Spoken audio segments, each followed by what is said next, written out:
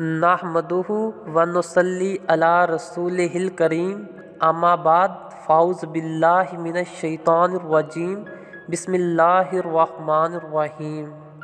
लक़द काना लकुम फ़ी रसूल उस्वतुन हसना। यकीनन रसूल अकरम सल्लल्लाहु अलैहि वसल्लम की ज़िंदगी तुम्हारे लिए बेहतरीन नमूना है।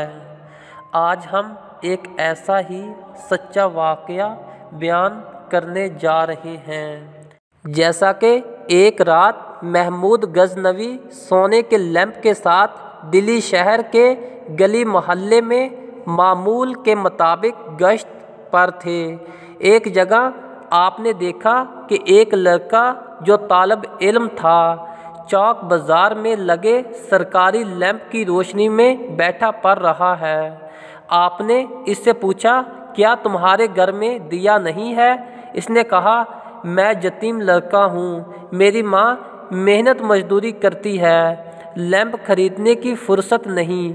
इसलिए सरकारी लैंप की रोशनी में पढ़ने पर मजबूर हूँ। बादशाह ने अपने हाथ पकड़ा सोने का लैंप इस यतीम तालब इल्म को दे दिया, जिसने बादशाह को लाखों दुआएँ दी। माँ भी खुश हुई और दुआएँ भी दीं।